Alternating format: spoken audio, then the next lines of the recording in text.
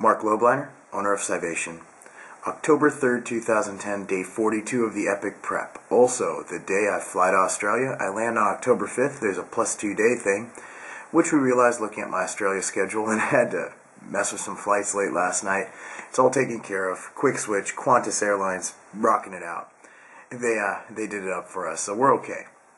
Anyway, yesterday Derek actually switched my diet to six meals a day, and here's Derek's reasoning. Given that you are going to be in Australia for a month and no doubt super busy, eating 10 times a day isn't going to happen. It wasn't happening that well here. I was trying, but I ended up sandwiching some meals together and doing my best. I think we should switch to six meals. I'm going to do three of these as Scivation whey and oatmeal and peanut butter. Um, just because Scivation whey, whey protein has amazing benefits, and because it tastes damn good and it's a break from chewing meat. And really, our whey is so clean and good, I'd put it up against food any day. And three meals with a solid protein source. Add in fruits and veggies as desired. I'm adding in berries like it's going out of style. No limit. Again, I'm bulking. I'm not going to get fat off of berries. Even if I did get a little fat, whoop-de-doo. And I can eat a little more food if I feel like eating more food. And if I just want to eat more food, basically go for it. Gain some size, bro. Rock and roll. So my diet's been updated. Basically, every meal for six meals a day will be 60 carbs, 56 protein, 15 fat. It's the equivalent of one cup of uncooked oats, 8 ounces of meat, and 2 tablespoons of peanut butter.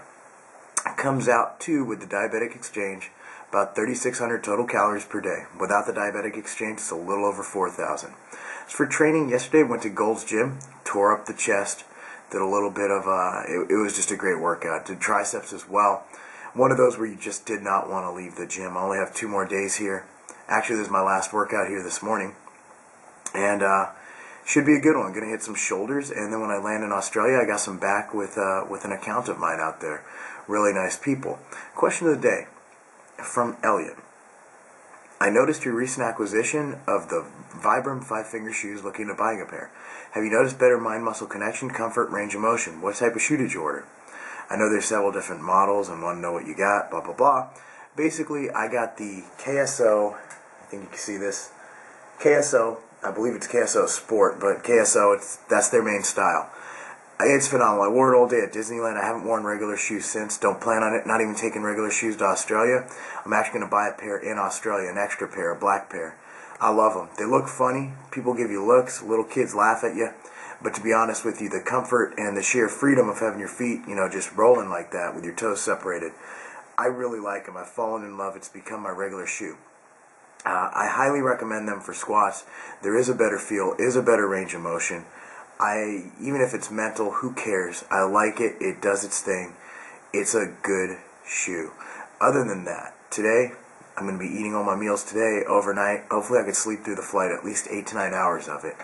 I got my Scivation knockout. Hopefully I can take enough of those to sleep a little bit. And they have TV on those planes. Should be good. Then I arrive in Perth, Australia tomorrow at around 12:30, which is Tuesday, because the plus two days. But for you Americans, it's going to be about 24 hours from 10 p.m. tonight. And then I get to work in it, get to doing my thing. I believe we have a seminar out there in Perth um, coming up on Wednesday. Let me actually look that up right now on my computer. Seminar is Wednesday, October 6th at 7:40 p.m. at Fitness First in Innaloo. That's Studio 2. If you ask me how to get there, I'm going to say I don't know. Hardest part of this trip is my kids. I have to say goodbye to them for over a month. I've had some great times with them. Um, they've been in California with me. My wife's with me. It's going to be really tough to say goodbye to them. Uh, I love my kids, and everything I do is for them, including sacrificing and going out and promoting the company and earning a living for them. That's that's what I do. That's my main function in the household. And one day they'll understand that hard work, dedication, and sacrifice will lead to prosperity. And hopefully, in this great country of America and in every country in the world, the government doesn't do anything to take away our freedom to work our butts off and succeed and become something. Because you know, my brother, myself, we didn't come from the you know, most silver spoon households, so to speak. But being that this country is so free, and there are many countries like ours where you can make it, that we were able to just outwork people. And we might not be the most talented, but if you work hard, you can make it in this country. And one day I want my kids to look in the mirror and say, you know what, I miss my daddy a lot, but at the end of the day, he had our best interest in mind, and he was He was a real person. He did what he could to give us what we need. I never want my kids to need for anything, and I'll work my butt off until until I can make sure that's not going to happen.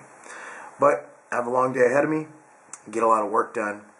Get out to the airport and fly to Australia, and then I'll be there with you blokes, and we'll be rocking. We'll be eating kangaroo meat. Till next time, train hard, reach your goals, and well, train hard and reach your goals. Take it easy.